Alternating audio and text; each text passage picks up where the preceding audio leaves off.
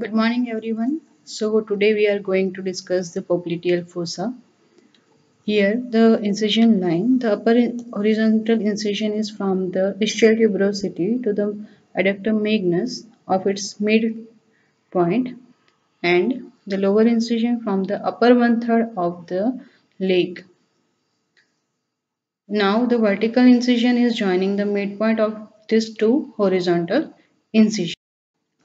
Now after dissecting the skin, we will see the superficial fascia of the popliteal fossa. This, this is the fatty layer. Now just below the superficial fascia, we can see the deep fascia which covers the popliteal fossa. So this is the deep fascia. Just below the deep fascia, we can see the diamond shaped boundary of the popliteal fossa.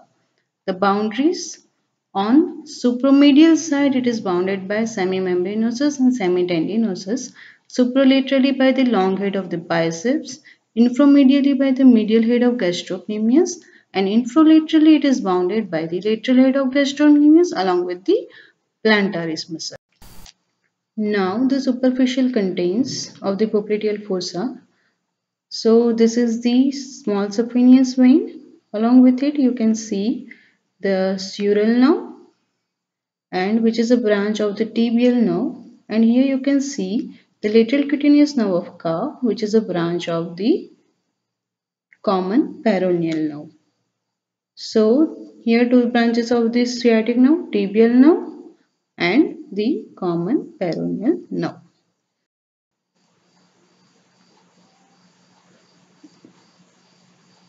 Now contents of the popliteal fossa, we can see this is the popliteal vein. Along with its tributaries, deep to it there is a popliteal artery and its branches. Now we can see the branches of the popliteal artery. On the medial side, here we can see the superior medial genicular branch on the medial side, in its lower part, we can see the inferior medial genicular branch of the popliteal artery. Here we can see the inferior medial genicular branch.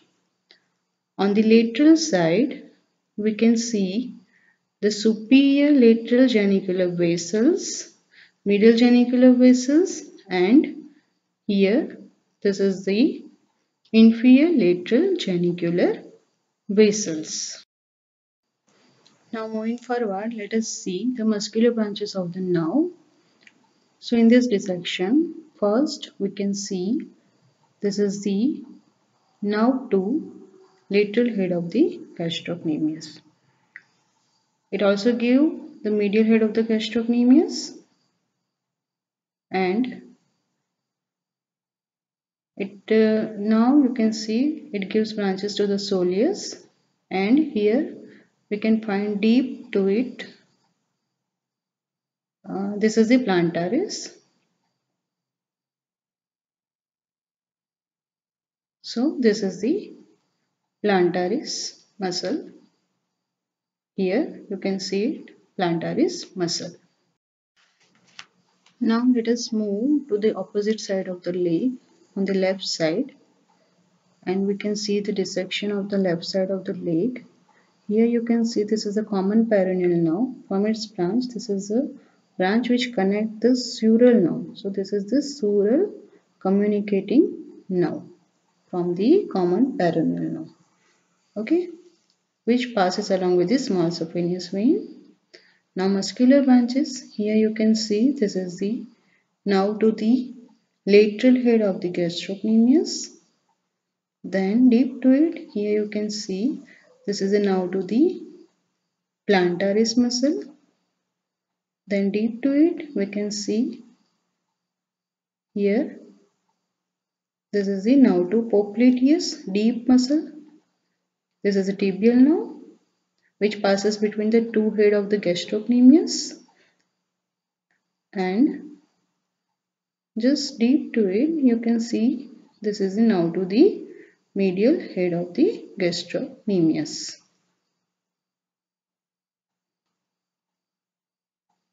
Okay, now moving forward, let us see on the deeper side of the dissection.